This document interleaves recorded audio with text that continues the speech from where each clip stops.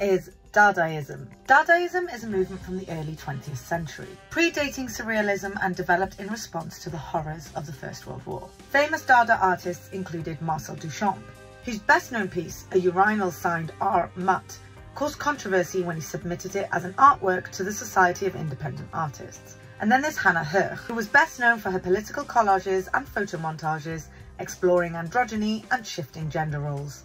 What art movement do you want to know more about next? Let us know in the comments below.